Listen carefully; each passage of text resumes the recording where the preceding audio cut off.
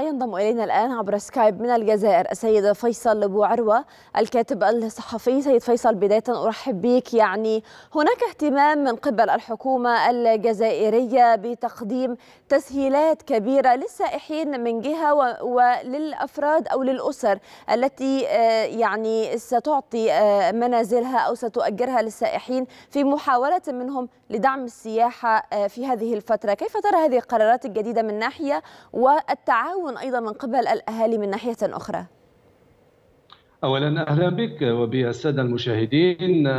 هذه الخطوة خطوة إيجابية جاءت تتماشى وتستجيب لدعوات كثيرة كانت ربما أطلقتها وكالآت السياحه والاسفار والمتعاملين السياحيين هنا في الجزائر. منها من بينهم وكالآت خاصة تنشط في الصحراء هي وكالآت عريقة تنشط أكثر من 40 أو 30 سنة. طبعا اليوم هذه الوكالات باتت تستغيث في الفترة التي كانت ربما تشهد منطقة الساحل اضطرابات أمنية كبيرة. طبعا السياحة في الجزائر كان تتوفر على أنواع مختلفة وانماط مختلفة من سياحة جبلية لسياحة صحراوية لسياحة قصورية سياحة في الواحات كذلك سياحة المحميات المصنفة في اليونسكو ضمن التراث العالمي. نحن نتحدث مثلا على منطقة تمنراست أو جانت التي تعتبر منطقة ربما محمية عالمية مصنفه في اليونسكو. هذه المنطقة كانت تستقطب عدد هام جدا من السياح. مثلا في سنوات 2005 إلى 2010 كانت السياحة تستقطب حوالي ولاية واحدة فقط منطقة واحدة هي تمن راست حوالي 45 ألف سائح أجنبي. بالنسبة للجزائر ككل السياحة الصحراوية في 2005 إلى 2010 كانت تستقطب حوالي 200 إلى 220 ألف سائح أجنبي.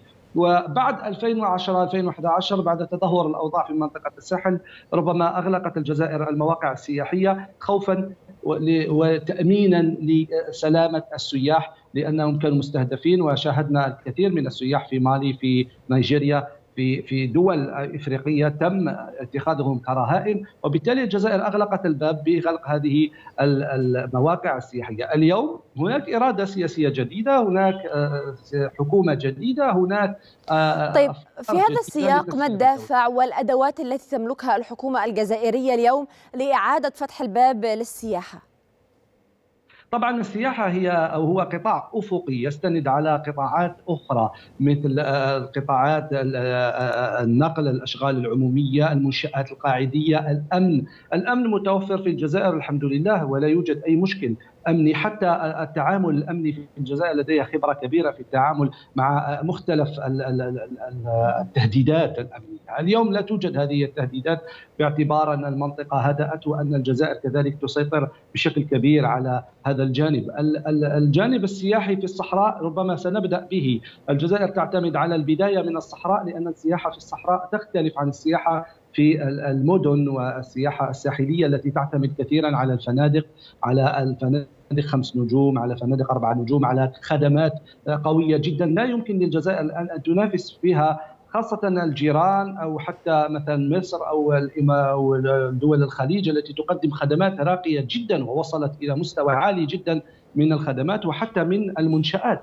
اليوم الجزائر تنطلق انطلاقة من الصحراء وهي نقطة قوية جدا لا تمتلكها دول كثيرة في العالم مثل تمنراست جانت محمية هكار تيميمون مثلا تغرداية هي سبعة قصور في في ولاية واحدة مبنية بطريقة عجيبة جدا. وبالتالي كذلك السياحة القصورية في في ولايات النعامة في بشار في تغيث هذه الأنواع السياحة المختلفة سياحة الواحات مثلا هذه نقطة قوية أو نقطة قوة تنطلق منها الجزائر طيب. اليوم أولا نعم. هذه السياحة لا تعتمد كثيرا على لا تحتاج إلى فنادق ضخمة لا تحتاج إلى الذين وفي هذا الشأن خصيصا أستاذ فيصل عفوا.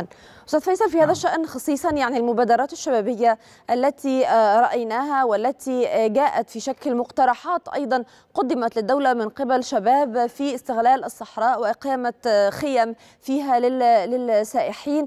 إلى أي مدى تأتي أهمية أيضا هذا الدور الذي تلعبه ربما المؤسسات الأهلية والشباب في دعم السياحة في هذا التوقيت؟ منذ مجيء ربما الحكومة الحالية أو أقول الرئيس عبد المجيد تبون أو بنى الدولة بشكل مختلف وأعطى شرعية أو حتى أنه اقترح في الدستور أو الحكومة اقترحت في الدستور أن العمل الجمعوي يكون دستوريا. اليوم العمل الجمعوي تعتمد عليه الدولة بشكل كبير لتطوير المشاريع ليكون مساهما أو الشباب والمجتمع المدني حتى يكون مساهما في التنمية الوطنية.